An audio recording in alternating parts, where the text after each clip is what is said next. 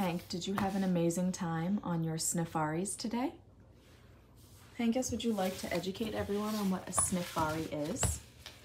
A sniffari, in general terms, is where you take your dog on a walk and they can spend as much time sniffing around as they like. By letting your dog sniff everything, they will burn as many calories as if they have been on a long walk and mentally will be very satisfied. Were you mentally very satisfied after your sniffaries today, Hank? Did you love it? Mr. Sniffs a lot?